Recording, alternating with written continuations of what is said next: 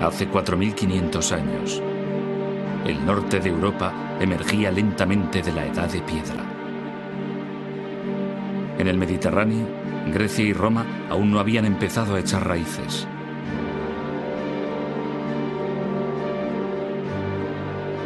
Mesopotamia todavía estaba muy lejos de la llegada del gran imperio asirio. Pero en el sur, en la zona nororiental de África, tomaba cuerpo algo sin paralelo en la antigüedad.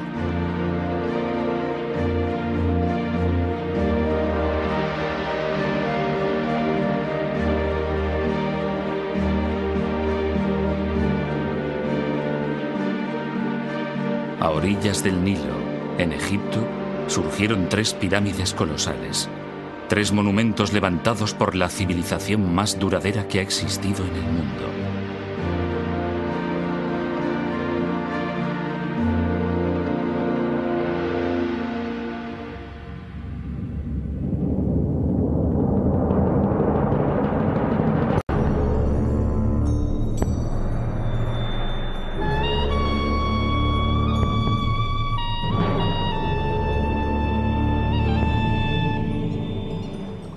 Cuando el historiador griego Heródoto visitó Egipto, cuatro siglos y medio antes de nuestra era, quedó impresionado. Las maravillas eran mayores que en cualquier otro país, observó.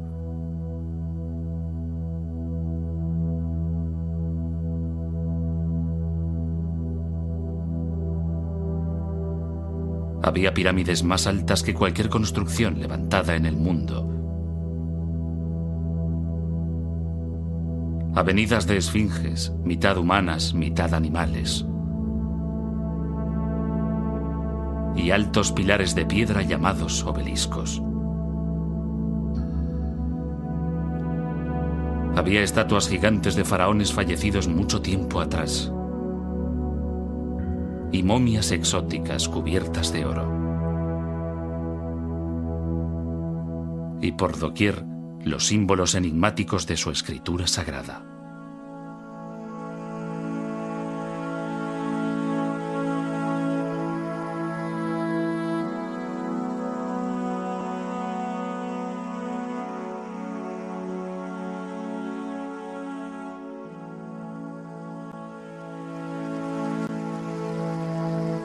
Aquí, llegada de los abismos del tiempo, había una civilización que había florecido durante más de 3.000 años. Para los antiguos, Egipto ya era antiguo.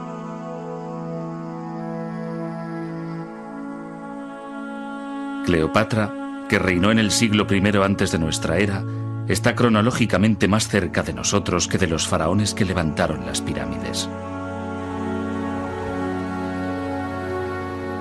Egipto es tan antiguo que durante siglos sus orígenes permanecieron envueltos en el misterio.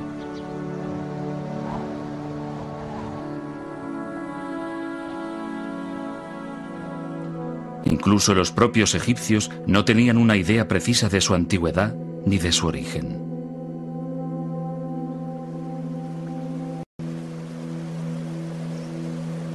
Heródoto dijo que Egipto era un don del Nilo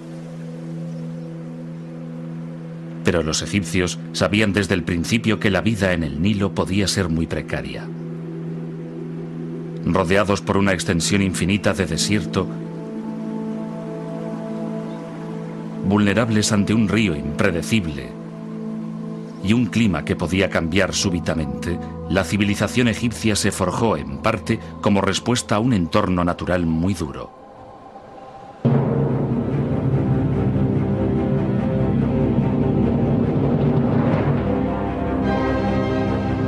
Los egipcios lo llamaban caos.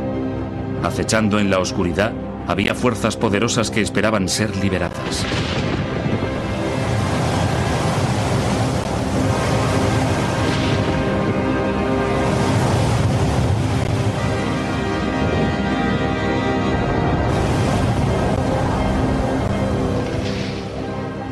La catástrofe podía llegar en cualquier momento y por ello los egipcios se aferraban a una creencia profunda. El orden, opuesto al caos, era la voluntad de los dioses. Para mantener el orden y dominar el caos, los egipcios imaginaron un rey que era un dios vivo, la manifestación terrestre de Horus, el halcón, el gobernante de los cielos. Enfrentado a él estaba el dios del desgobierno, Set, el precursor del caos. El eterno conflicto entre orden y caos guiaría finalmente el destino de la civilización egipcia. Desde el Cairo hasta Asuán, mil kilómetros al sur del Cairo, a lo largo del valle del Nilo, varios conjuntos de pirámides salpican el paisaje. La mayoría fueron levantadas para servir de última morada a faraones y reinas. Y estaban estrechamente relacionadas con la búsqueda de la inmortalidad. En el antiguo Egipto, el origen del concepto de pirámide se pierde en la noche de los tiempos.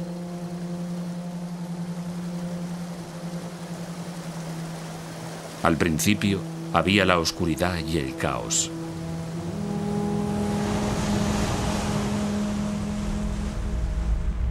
De ello surgió un montículo.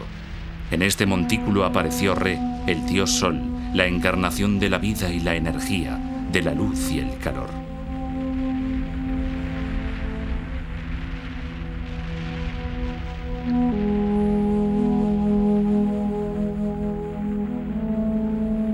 Re cruzó el cielo.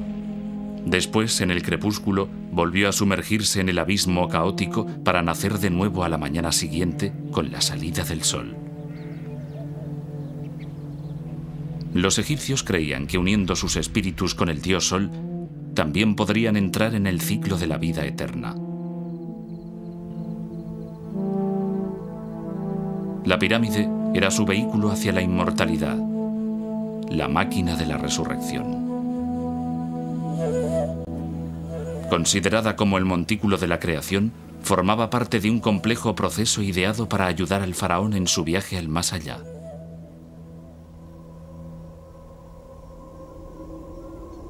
Pero no había dos pirámides iguales.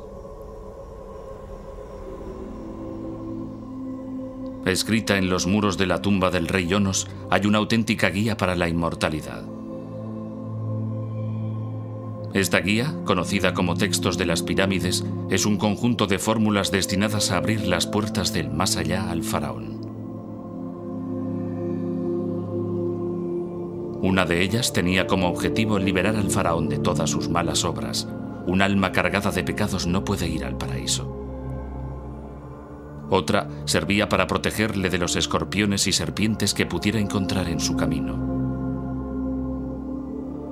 Por último, otra fórmula anunciaba su llegada a Re, el dios Sol. La tumba del faraón Onos proporciona una visión extraordinaria del más allá.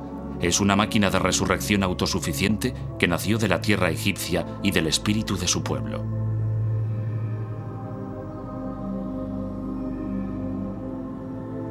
Pero hasta la actualidad, la verdadera historia de las pirámides ha permanecido tan oscura como la de aquellos que las construyeron.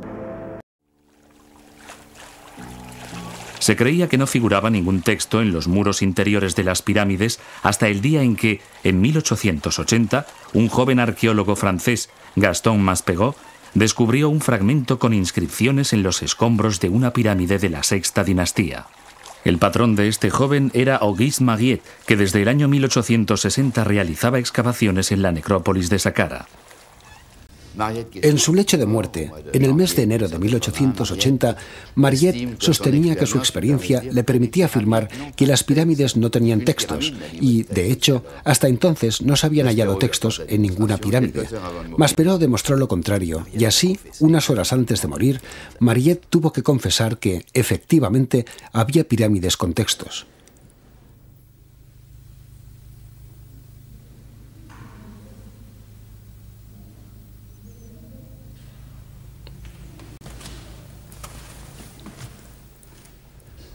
Hay un texto que se repite siempre y siempre en el mismo lugar. Es el texto inicial, el texto fundamental, el texto de las pirámides que dice, oh faraón, no te has ido muerto, te has ido vivo. Lo cual significa que estas construcciones sorprendentes que son las pirámides tienen su razón de ser en esta frase grabada en el interior de la cámara funeraria, muy cerca del cuerpo del rey y que, en resumidas cuentas, asegura al faraón el paso a la eternidad, un paso dado en vida, ya que se ha marchado vivo. Los egipcios creían que el universo comenzó con un montículo que surgió de las aguas del caos. Esa idea provenía de la inundación anual de Egipto, en la que cuando las aguas del río volvían a descender, los montículos surgían rodeados de agua. Según la leyenda, un loto creció en el montículo primigenio, y de ese loto nació el dios Sol, y de ese Dios Sol toda la creación. La pirámide para los antiguos egipcios no es más que el pequeño montículo de tierra que formas alrededor de una semilla. La momia del rey que yace en las profundidades de la pirámide es como la semilla que espera el momento de renacer. Y la propia pirámide es, de algún modo, el montículo de nacimiento que le otorga el poder de volver a la vida.